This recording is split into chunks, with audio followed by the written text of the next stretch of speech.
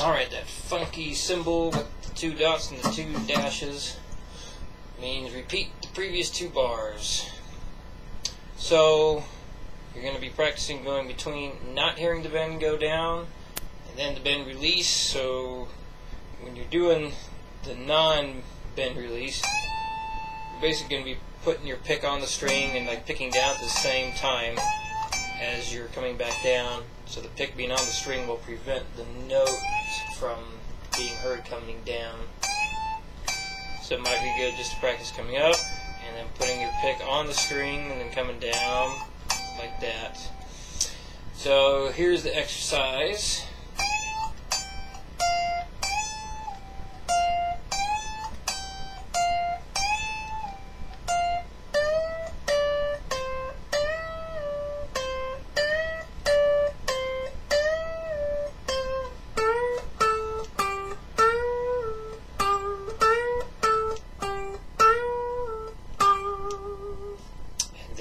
Three rhythms.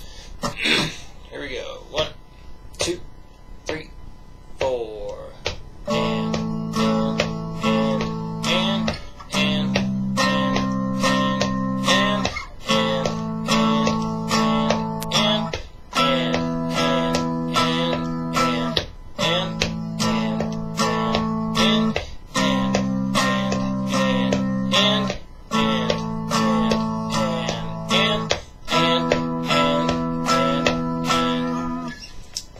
for the challenging ones. One,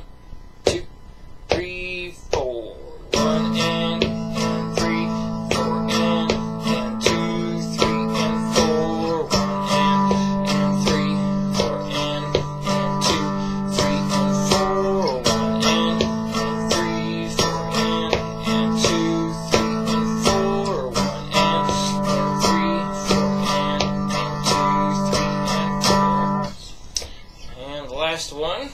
One, two, three, four. One